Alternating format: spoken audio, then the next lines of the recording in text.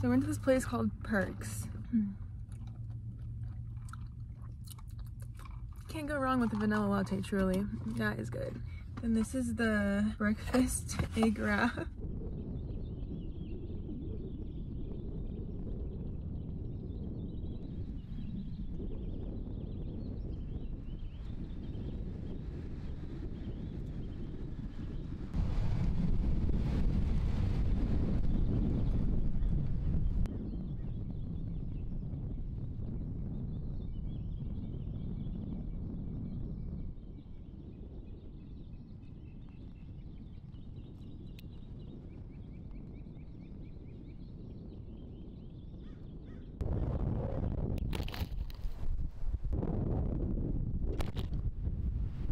So windy out there that my eyes are watering. Oh my god. My camera got knocked over twice. No more driving shots for now. I'm sorry I got as many as I could, but I don't want to break my camera.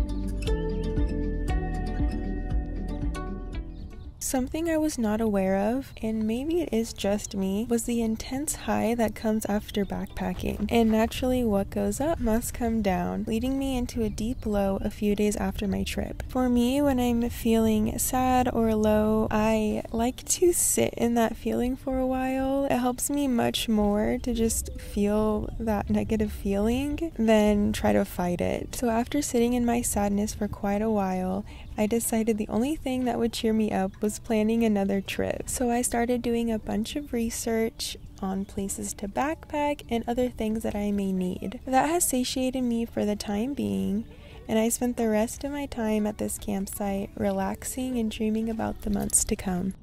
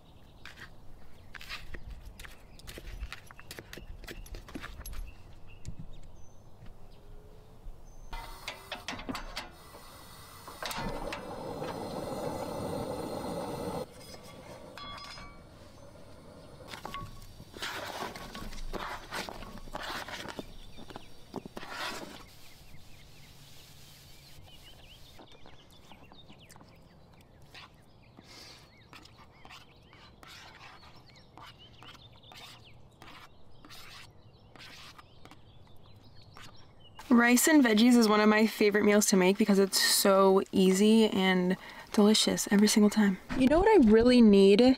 I really need a mount on my windshield or something so you guys can stop looking at me in these god awful angles. I I swear, I come on YouTube and I just post the worst angles of me and I'm like, it has been absolutely crazy windy, but I'm hoping the wind dies down at some point this week. I can't believe it's already March. Time is just flying by. Oh, I have been doing so much planning for the future and honestly that's kind of what keeps me going. Planning stuff and having stuff to look forward to really helps me and it's something that I've always, kind of something that I've always done. I know we're supposed to be present and all of that, but you know, sometimes you just need a little something to look forward to.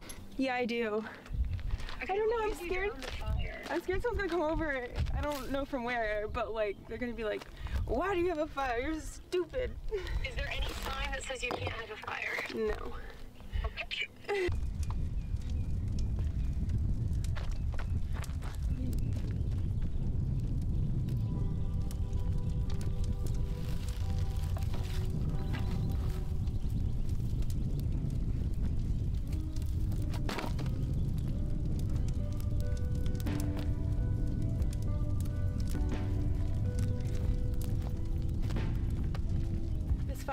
Already here, so thank you to whoever left it here.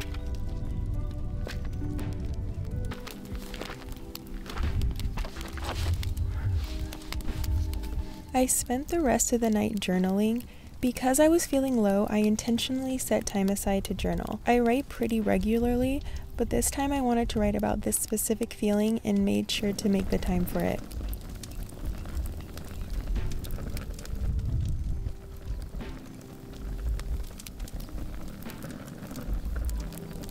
Been really windy this last week, so the wind has finally died down today.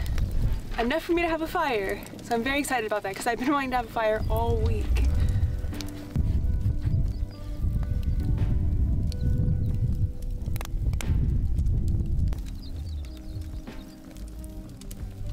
Can you hear the birds? How are the birds still singing?